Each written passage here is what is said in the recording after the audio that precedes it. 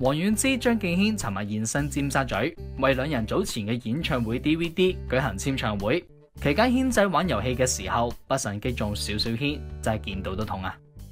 唔係，不過係唔覺意 kick 到啫。唔覺意 kick 到啲咩啊？kick 到啲小小軒有冇事啊？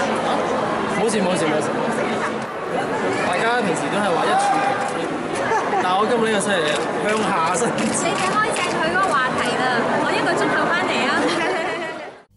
講到演唱會會唔會開 Part Two，伊凡娜以為問佢幾時生仔，所以佢即刻揾軒仔做擋箭牌。生唔生仔睇軒仔。係啊。哦，即係我話。